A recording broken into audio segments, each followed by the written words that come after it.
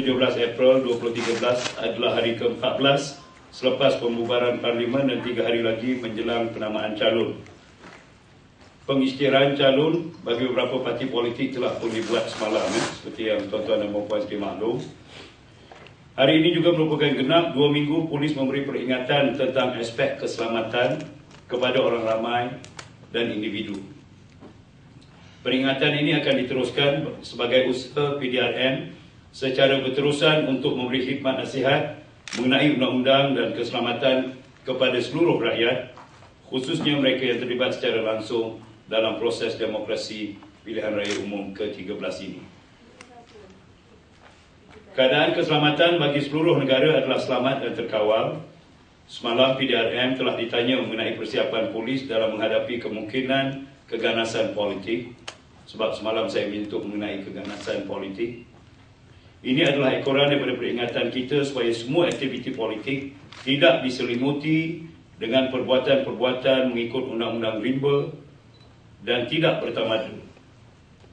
Seharusnya seperti yang kita selalu tekankan hari demi hari, aktiviti politik mana-mana pihak mestilah bersandarkan kepada fakta yang jelas dan berumbikan perasaan saling hormat menghormati antara satu sama lain.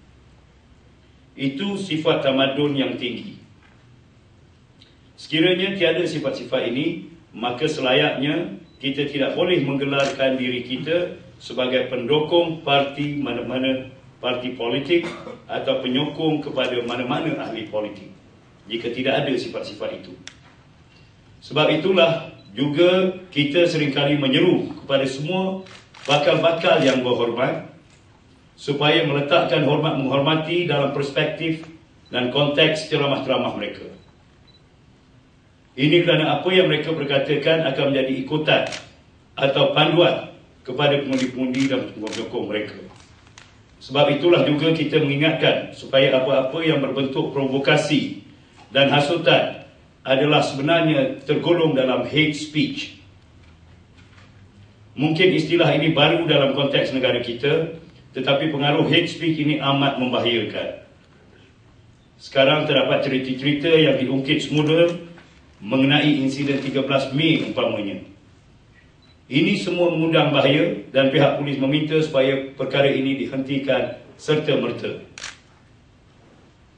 Begitu juga dengan kain rentang dan banners yang ditulis dengan perkara-perkara yang menghasut dan tidak benar.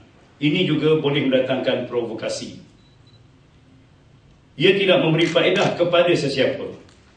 Sebaliknya, ia mengundang kepada provokasi yang boleh menyebabkan huru hara.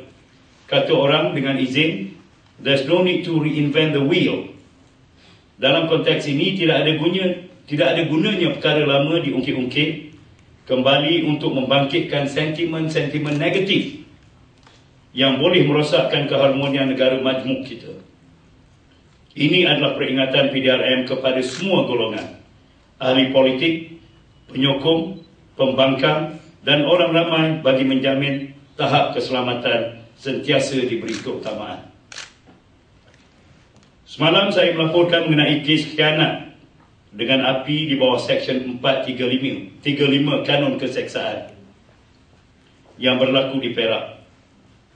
Hari ini saya kesal kerana terpaksa melaporkan sekali lagi Kejadian yang sama membabitkan bilik gerakan sebuah parti politik iaitu Parti Islam Semalaysia di Hulu Selang, Langat Selangor yang telah dibakar di bahagian dinding oleh suspek yang masih belum dikenal pasti. Semalam di Perak, hari ini di Selangor.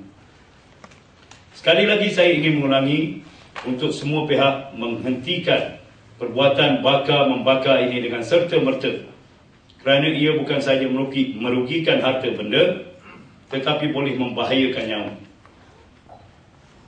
Ingatlah perbuatan bakar membakar tersebut adalah perbuatan khianat. Satu jenayah yang boleh dihukum penjara maksima hingga tujuh tahun. Itu bukanlah satu tempoh yang singkat. Jika anda disabitkan kesalahan dan mempunyai anak di tahun satu persekolahan dan jika dikenakan hukuman maksima, Sewaktu anda keluar, anak anda telah di tingkatan dua. Bukan satu contoh yang bukan satu tempoh yang pendek ya. Jangan kita terlampau terpengaruh dengan dialog-dialog filem seperti kita bakar, kita bakar dalam filem itu. Itu hanyalah filem untuk hiburan, bukan untuk dibawa kepada realiti. Kerana realitinya adalah jenayah. Realiti itu adalah implikasi yang membawa kepada hukuman jenayah. Ini perlu diingat. Kalau ada seorang dalam ramai-ramai yang mengatakan dalam mob mentality ini mengatakan kita bakar, kita bakar, eloklah dia dinasihatkan bahawa bakar itu membawa kepada pelakon jenayah. PDRM juga ingin memberi peringatan kepada mana-mana individu atau kumpulan supaya tidak membawa apa-apa bentuk senjata senjata tajam atau senjata membahayakan dalam sebarang perhimpunan sama ada waktu mendengar ceramah, waktu mengiring calon-calon dan sebagainya. Ingat, negara kita adalah negara aman. Bukannya dalam peperangan. Bukannya untuk orang membawa golok, membawa keris, membawa senjata membahaya dan sebagainya. Tidak perlu pada semua itu. Dan ingat juga bahawa peperangan politik bukanlah melalui senjata. Tak ada yang menang dalam perang politik menggunakan senjata. Ia seharusnya melalui minda. Peperangan itu mestilah peperangan yang berbentuk ilmiah. Minda yang diterjemahkan dalam bentuk strategi dan implementasi. Itu peperangan yang ultimate, yang sebenar. Bincanglah perkara yang memberi manfaat kepada anda, keluarga anda dan masyarakat anda. Ini sahaja cara yang bertamadun tinggi. Begitulah juga dengan ahli-ahli politik. Jangan membakar semangat juang ideologi anda dengan hate speech atau hasutan. Jangan kita takut kepada orang lain takutkan pada diri sendiri dengan menghindari perbuatan yang boleh merosakkan masa depan diri sendiri. Semalam saya dapati tak banyak liputan mengenai keganasan politik ini. Namun peringatan yang disampaikan adalah penting. Jadi saya rasa ia perlu diulangi untuk mengingatkan penyokong-penyokong di bawah sana di sudut-sudut kampung, di seluruh pelosok tanah air yang begitu taksub mungkin kalau tidak diberi peringatan yang berulang kali mungkin tidak dapat mereka menghayati bahawa perbuatan mereka itu mungkin boleh sabitkan mereka kepada kesalahan jenayah. Keganasan politik seperti yang telah terbukti membinasakan seperti di setengah negara dunia ketiga yang seharusnya diambil iktibar oleh negara kita. Sekarang setelah calon diisytiharkan, kita menjangkakan peranan media juga bertambah rancak. Justru kita minta supaya semua parti politik dan penyokong-penyokong parti politik supaya tidak menghalang atau mencederakan mana-mana pemberita atau wakil media yang dibenarkan dan berdaftar untuk membuat liputan media.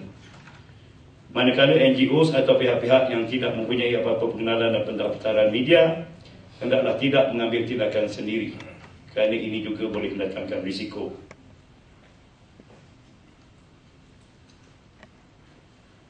Seterusnya, laporan uh, sepanjang tempoh 24 jam semalam.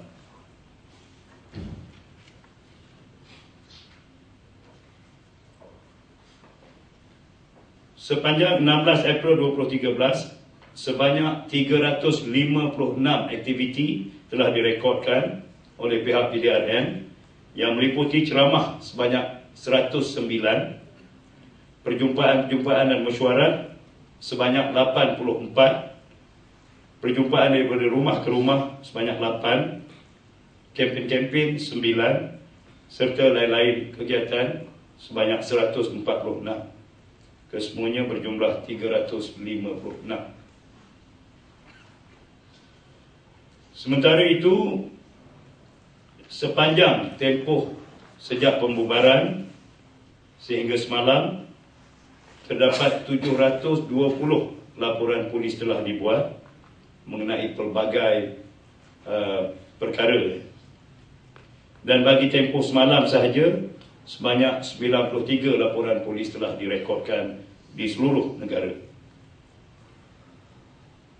Dan uh, setakat ini jumlah tangkapan adalah 16 ya, yang meliputi kesalahan-kesalahan yang kebanyakannya di bawah Seksyen 427 Kanun Keseksaan.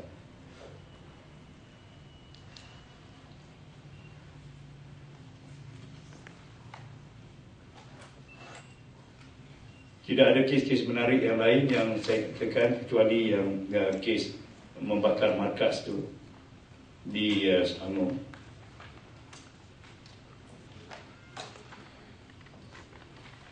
Saya juga nak membuat announcement yang tidak kena mengena dengan ini. Besok um, satu uh, perhimpunan PDRM akan diadakan di peringkat Bukit Aman dianjurkan oleh Jabatan Logistik.